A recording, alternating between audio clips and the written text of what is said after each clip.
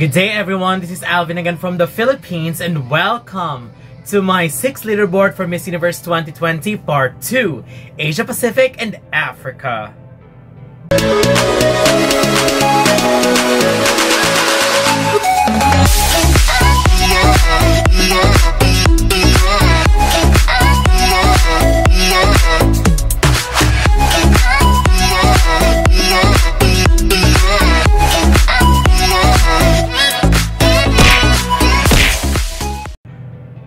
Welcome to my 6th leaderboard. Again, this is already the part 2 which talks about my current top 15 for Asia Pacific and African region. Well, before we begin, let me just say that if you haven't seen the part 1 which is my top 15 for the European region, it is already uploaded to my YouTube on my YouTube channel so you can just go ahead and check that out. But right now this is part 2 and after this I will be uploading part 3 which is my top 15 for the Americas. But for now, here's my top 15 for the Asia Pacific and Africa starting with my number 15 Korea.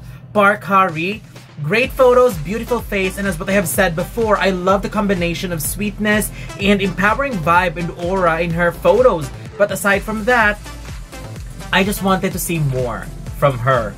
Number 14, Malaysia. Francisca Luhong James. Francisca is okay to me. I love her recent photo shoots, especially the swimwear photo shoot. The background and the way she stood out in it was just fire. That was really beautiful. But as a contender in Miss Universe, I am not 100% sure yet because I am struggling, honestly, to find a reason on why should I put her in my top 5. Simply because there's a lot of strong contenders from this region already. All I can say for now is keep improving, keep working, and keep on transforming. And hopefully, she will be up there very, very soon.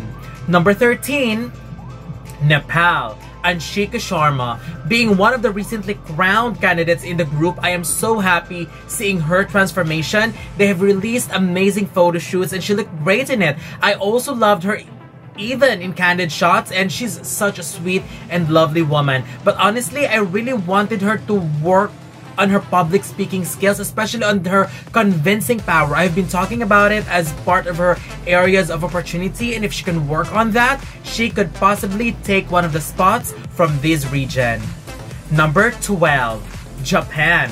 Aisha Harumi Tochigi, they are not giving us as much updates as well, but I do love the diversity that Japan has embraced once again with her selection as their representative. I am excited to know more about her stories, but let me just say that this woman, if this woman gets a placement, I will not be surprised at all. They might be preparing something amazing. So hopefully we'll get some more and more and more updates from Miss Universe Japan and of course more speaking as well so that we'll get to know how she does when it comes to public speaking.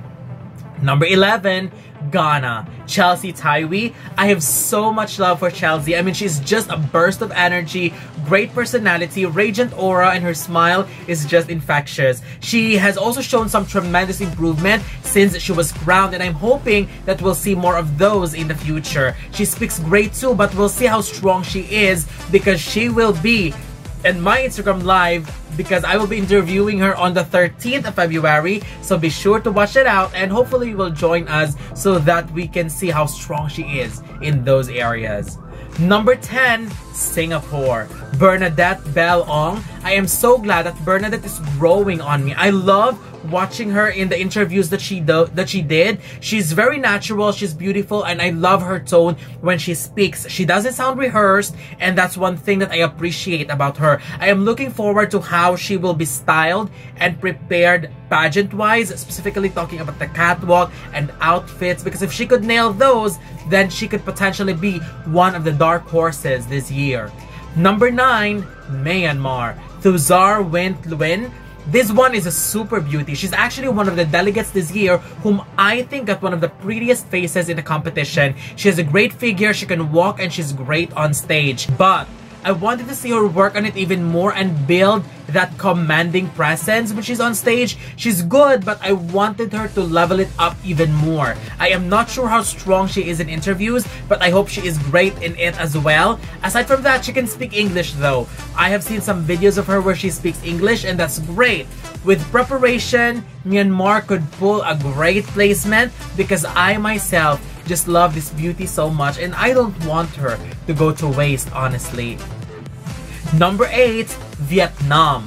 Nguyen Tran Khanh Van. Vietnam is such a lovely and beautiful soul. She is very active in doing social works and recently posted about her time when she did her cause with One Body Village. Aside from that, she and the entire Team Vietnam are really working hard because this woman is so stylish. I mean, whatever outfit she wears, whatever color it is, she can always nail it. But let me just say again, the moment we can hear her speak in interviews, and if she is amazing in public speaking, I can assure you that she will skyrocket in this ranking. But then again, for the millionth time, hopefully we'll get to hear her speak.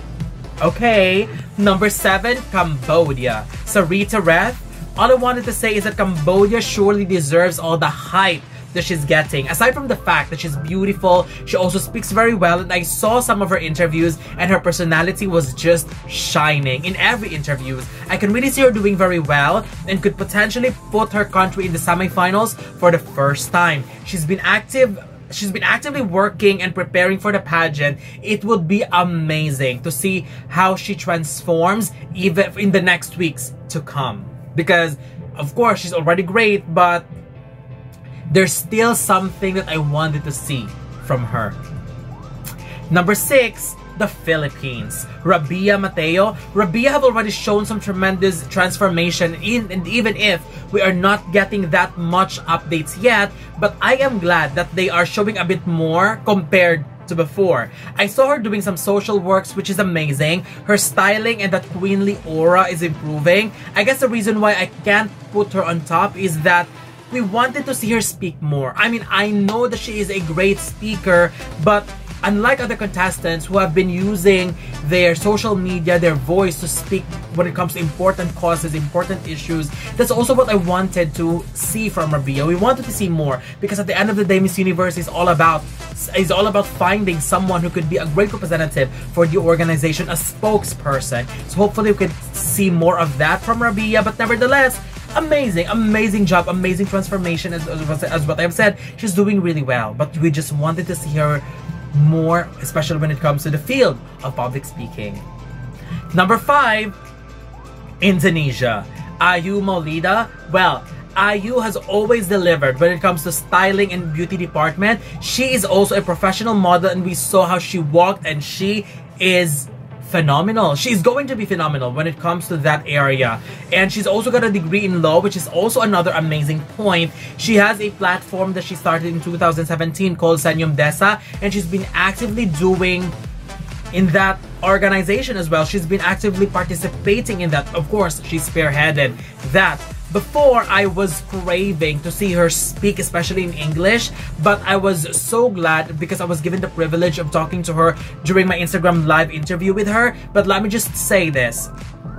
I appreciate her so much for doing her best in speaking English because I was quite expecting that she might use an interpreter, but she sat there with me by herself and confidently answering my questions in English. I was very happy because as what I've said, she was very honest, she was very confident, and I can I felt the sincerity in her answers. And it wasn't perfect, but I got her point. I got her message. I love her very genuine way of answering. And if she did that well in speaking English, imagine how strong those answers would be if she spoke in her native language, which she is more comfortable with. I believe it is very important to build that connection and relatability when you are answering questions and speaking publicly. And if Iris won in 2016, by not speaking English and with uh, with an interpreter, I truly believe that winning is also possible. Not only for Ayu but also for everyone who can't speak English fluently that are competing in Miss Universe this year.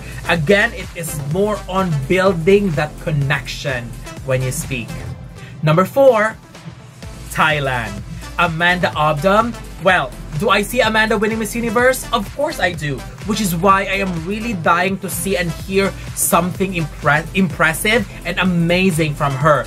They have flooded us with so many updates and photos and I commend them for working so hard and we have seen how stunning Amanda is and there's no question about that anymore about her beauty, body, and performance. We know that she's going to stand out in those areas. I also watched some of her interviews, especially the recent ones, so that we can already get away with our first impressions during her final question performance in a Miss Universe Thailand pageant. So I would say based on the recent interviews that I have watched, watched, she is improving and I appreciate her for that. But I am still craving to hear something from her in an interview that would make me say, that's Miss Universe. I haven't felt that yet. I mean, I have felt that based on her beauty, but in interviews, I haven't yet. So hopefully we'll feel that someday. I hope you get what I mean. Number three, India. Adline Castelino. Adline has been very, very active in the last weeks when it comes to different events and social media posts. We have seen some swimsuit photos, different shots which showed how beautiful she is, different videos where she speaks and showed us how great and consistent she is when it comes to public speaking. And I have to truly commend her and possibly the organization as well because I have seen how she transformed. She looks so much better fresher and ready to slay. Well, maybe there's something else I would ask since I haven't seen anyone interview her with some random questions. I mean, not recently, of course, but I would love to see her being asked random questions by any interviewer because I we would still watch it. I wish to see those because we wanted to see how she's going to handle the questions because there's always a difference between speaking in videos compared to answering random questions when you are being asked, like in an interview. So hoping to see that, but nevertheless, it will all depend on how she performed now, and if she could live up to all the hype we have given her, then India could probably take home their third Miss Universe crown.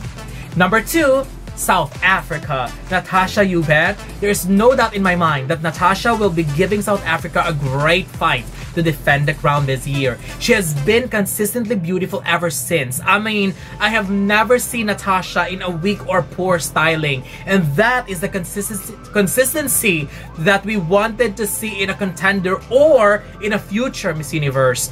And Aside from that, she's just an ex excellent speaker. And what's amazing about her is that she speaks and knows how to deliver the message in a tone that is both sweet and commanding and powerful, which is a great combination. I have watched her interview with Miss Universe Brazil and she was stunning and phenomenal. And I'm sure that she will bring all those qualities and a complete and improved qualities in Miss Universe. But my current number one and my flag bearer for the Asia Pacific and Africa is Australia, Maria the Thattil. Maria to me is a great symbol for empowering women in all ways possible. I am super super glad that she featured and talked about the height issue on her Mind With Me segment on her Instagram account and I just find it empowering. I have been talking about this many many times at how impressed and amazed I am with how she is utilizing her social media to influence, inspire, empower, and create a ripple of change and I believe that she would reach even more people if she wins Miss Universe, which would be amazing. She is beautiful, she's got a superb figure as well, and her walk is looking great. So overall, I am super confident in saying that Australia is undoubtedly coming with such huge waves in the competition and I really wouldn't mind crowning someone like Australia as our future Miss Universe. So that's it. These are my current top 15 for Asia Pacific and Africa. What do you think? What are your thoughts about my ranking, about my commentaries, and do you think someone in this ranking deserves to place a bit higher? Please don't forget to share your sentiments below because I am reading all of the comments. Again, don't forget to leave your comments below. Don't forget to give a thumbs up and share the video as well. And most importantly, don't forget to subscribe because you'll be seeing more of these videos in the future. For now, thank you very much and have a wonderful day from the Philippines.